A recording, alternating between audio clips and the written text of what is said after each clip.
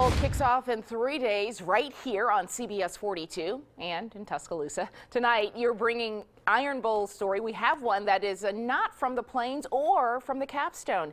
CBS 42 News reporter Lee Garner is live in Tuscaloosa. And Lee, you had to cross a couple of time zones to catch up with one Bama fan. I did, Sherri. We all know that people in the state of Alabama, for the most part, are pretty passionate about this game, but the rivalry runs a little deeper all over the world, even in Jerusalem.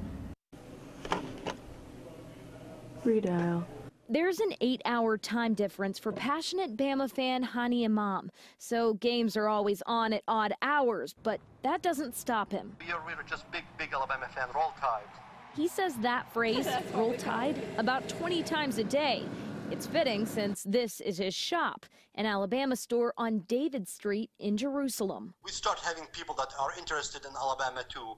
Obviously, when you're winning and you win championship year in and year out, you become very, very popular. Imam is actually a graduate of the university. He still has family in Huntsville. But then once you become an Alabama fan, there's no looking back. You, you remain and you stay an Alabama fan and he's enjoyed meeting tourist fans who come to his store, even Auburn fans who he likes to tease by shouting Roll Tide. Auburn is, uh, plays good football. They have been doing very, very well lately. Uh, it's a very good rivalry. Uh, they're a good team.